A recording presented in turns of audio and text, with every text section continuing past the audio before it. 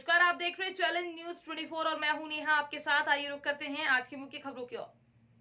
बांदा में भाई ने सगे भाई को अवैध तमचे से मारी गोली। घायल को पुलिस ने अस्पताल में किया भर्ती। अस्पताल में भारी पुलिस बल तैनात। शराब के नशे में धोत होकर कहा सुनी पर भाई ने मारी भाई को गोली। जिला अस्पताल पहुँचे सीओ सिटी आर के सिंह ने घटना की दी जानकारी। सीओ ने बताया कि अपनी बहन को लेकर हरसिंहपुर थोक से मठौंद चौराहे पहुँचा था छोड़ने। जिला अस्पताल में प्राथमिक उपचार के बाद घायल को रेफर किया डॉक्टर ने कानपुर के लिए।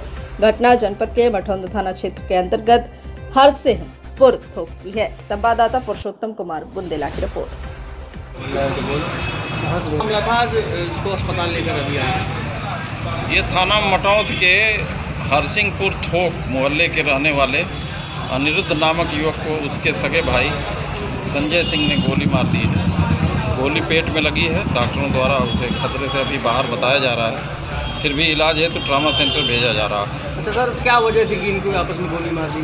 दोनों बुरी तरह से शराब के नशे में हैं और अभी मजरूब भी तमाम उल्टी सीधी बातें कर रहा है और बहन को अपने छोड़ने बस अड्डे पर गया था वहीं दोनों में गाली गलौज हुई है उसने इसको गोली मार दी। तो सर अवैध तमंचा से मारा है लाइसेंसी? नहीं अब वो तो दुराचारी है उसके पास वैध हथियार होने का कोई प्रश्न ही नहीं है। निश्चित रूप से अवैध तमंचा ही रहा होगा। सर क्या गिरफ्तारी हो पाई है? नहीं अभी वहाँ पे दो तीन टीमें उसकी गिरफ्तारी के लिए लगी हुई हैं। गिरफ्तारी का प्रयास निरंतर जारी है।